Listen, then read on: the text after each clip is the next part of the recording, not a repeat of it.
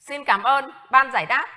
Tôi xin đọc câu hỏi số 7 của Phật gia Lâm Trường An ở Cà Mau. Thưa, muốn biết Đức Phật phân thân, ứng thân, hóa thân, làm việc trong trái đất Nam Diên Phù Đề này, thì làm cách nào để nhận biết Đức Phật qua những việc làm nào? Tôi là Thiền gia Thị Dung, thành viên ban giải đáp Chùa Thiện Tông Tân Diệu xin trả lời câu hỏi thứ bảy của Lâm Trường An như sau. Đức Phật phân thân là Đức Phật chiết một phần thân bằng điện từ quang, đến nơi khác gọi là phân thân. Đức Phật ứng thân, tức là Đức Phật sử dụng thuật làm ra một phần thân bằng điện từ quang, cũng đến nơi khác gọi là ứng thân.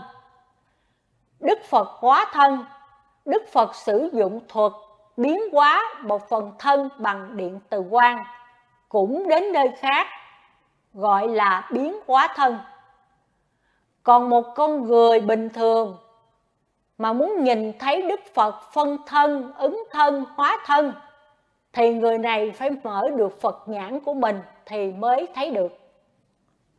Xin mời Phật gia Lâm Trường An hỏi tiếp theo ạ. À.